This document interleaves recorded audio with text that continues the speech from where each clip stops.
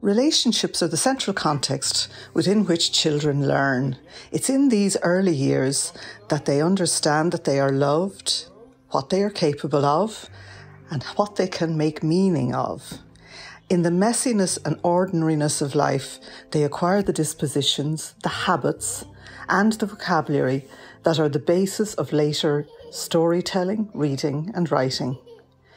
The group cuddles around shared reading that happen on the couch with a book, a parent, and a big sister are the secure spaces where the young child begins to become the literate child.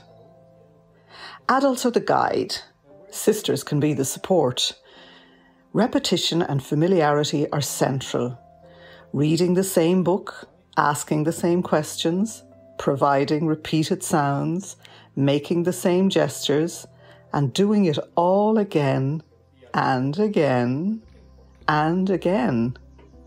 All help to make these few minutes of shared reading a critical and effective learning experience. They are the first steps of the literacy journey.